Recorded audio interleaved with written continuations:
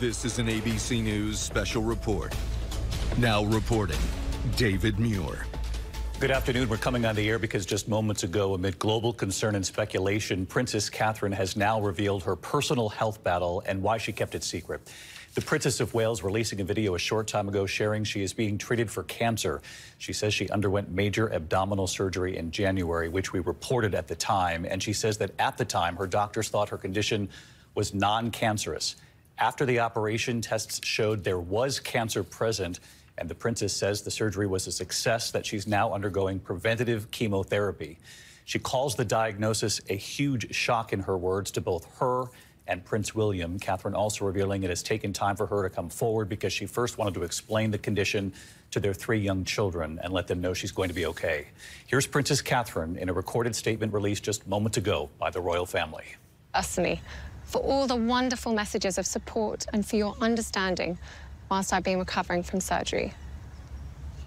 It has been an incredibly tough couple of months for our entire family, but I've had a fantastic medical team who've taken great care of me, for which I'm so grateful. In January, I underwent major abdominal surgery in London, and at the time, it was thought that my condition was non-cancerous. The surgery was successful. However, tests after the operation found cancer had been present.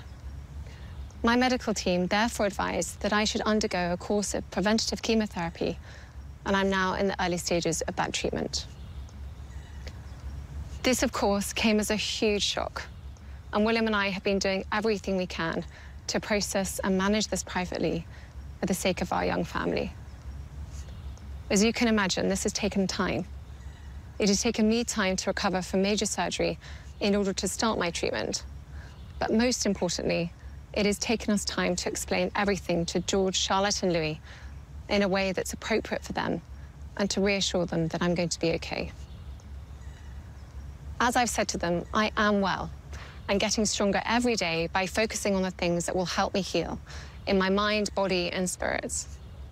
Having William by my side is a great source of comfort and reassurance too, as is the love, support and kindness that has been shown by so many of you. It means so much to us both. We hope that you'll understand that as a family, we now need some time, space, and privacy while I complete my treatment. My work has always brought me a deep sense of joy, and I look forward to being back when I'm able. But for now, I must focus on making a full recovery. At this time, I'm also thinking of all those whose lives have been affected by cancer for everyone facing this disease, in whatever form, please do not lose faith or hope. You are not alone.